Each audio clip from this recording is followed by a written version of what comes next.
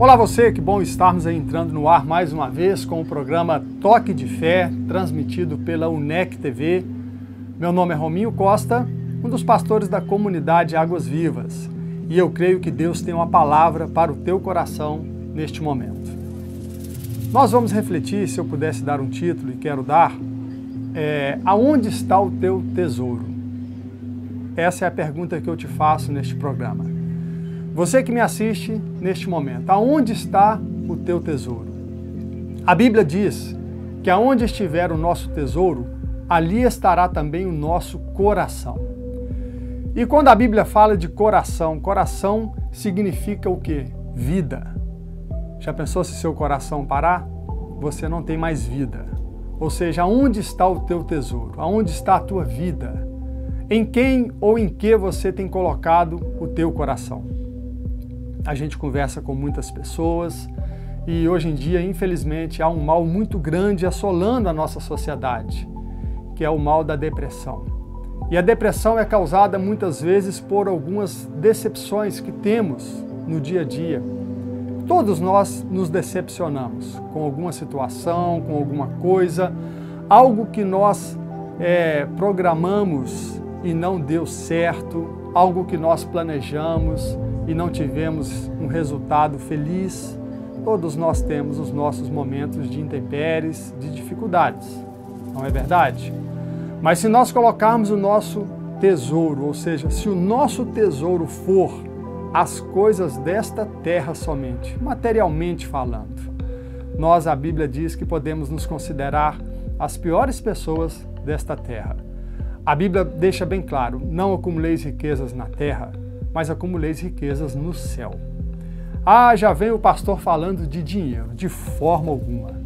Olha, se tem uma coisa que eu tenho dificuldade para falar, é sobre dinheiro, porque infelizmente tem muitos líderes usando desta palavra para, infelizmente, se beneficiarem, mas não é o nosso caso.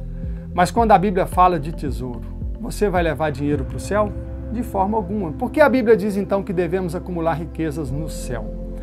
Porque a riqueza aqui significa para Deus não é dinheiro, porque lá as ruas serão de ouro, então nós vamos caminhar em cima do dinheiro, não é?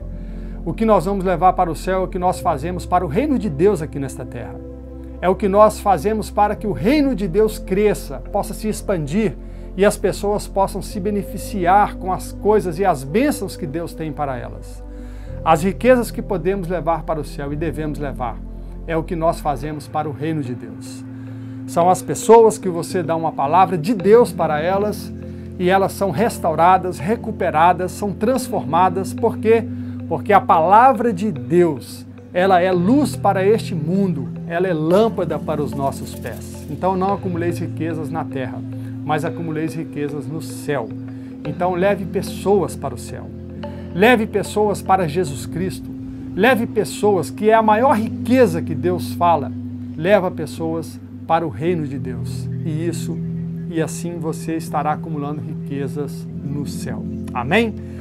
Eu deixo aí esta breve reflexão, mas antes de encerrar o nosso programa, eu quero fazer uma oração pela sua vida. O que você precisa que Deus te faça? Qual é a tua necessidade? Diga para Deus neste momento, porque nós vamos orar. Amém? Querido Deus e eterno Pai, nós te agradecemos por esta oportunidade, por esta TV que abre as suas portas para que o Evangelho do Senhor seja anunciado. Agora eu te peço que o Senhor abençoe cada telespectador neste momento. Que esta mulher, este homem, esta jovem receba a bênção do Senhor. Em nome do Pai, do Filho e do Espírito Santo de Deus. Amém. Diga amém. Amém significa assim seja. E que assim seja na sua vida, assim seja na sua casa, assim seja na sua família. Quero te convidar a estar conosco na próxima programação aqui na UNEC TV com o programa Toque de Fé.